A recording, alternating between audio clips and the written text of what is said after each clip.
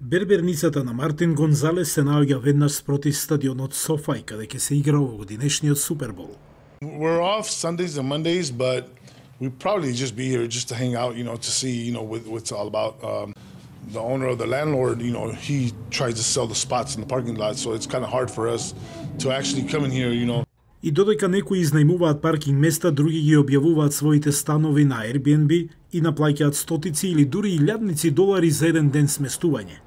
Цените на недвижностите во предградието на Лос Анџелес, Инглвуд, каде што се наоѓа стадионот, исто така се зголемија во изминатите неколку недели. It's ridiculous, but it brings more value to the, you know to the city. You know, uh, Inglewood has is not really on the map like that, but now you know now it is.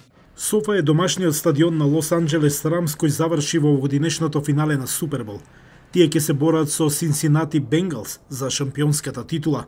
Билетите за настанот може да достигнат и до 60.000 долари за едно место, додека паркирањето во близина на стадионот ќе ги чини навивачите од 400 до 6.000 долари. Но овие цени не ја намалија возбудата.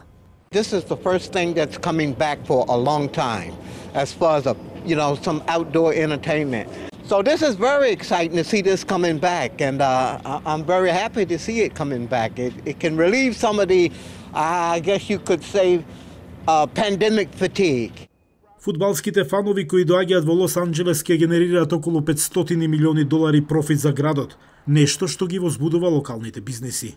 We're expecting a big crowd. A lot of customers. We have lemon, chocolate, red velvet, vanilla. We have a lot of orders to fulfill. It's kind of exciting. A little overwhelming, but still exciting. Инглвуд спроведе засилени безбедносни мерки додека градот се подготвува за брано туристи во текот на викендот.